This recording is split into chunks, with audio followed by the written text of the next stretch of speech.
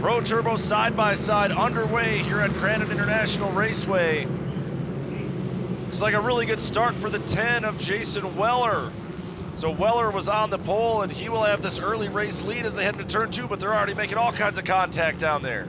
See Loire there in second. Everybody's still trying to chase down Kyle Chaney. And he swept in Crandon here back in June in rounds three and four. So he's got this track figured out. That is not what Kelsey wants to see, and Kelsey has three very fast dudes right behind him battling for position.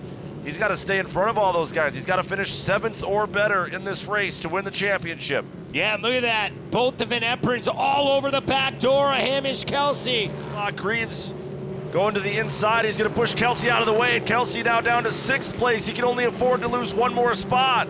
Oh, Hamish, time is running out, buddy. You better keep moving forward. Kelsey still running in the sixth spot. That would be good enough for a championship if he can hold on. Well, he can afford to lose one more, but instead of risking it, why not just hold on to that spot? Chaney is going to take the win. That's win number four for him on the season. And Kelsey was able to hold on for sixth, and that will be good enough for him to win the 2022 Pro Turbo Side by Side. What a great season for the man from Coromandel, Waikato, New Zealand, racing here in the United States.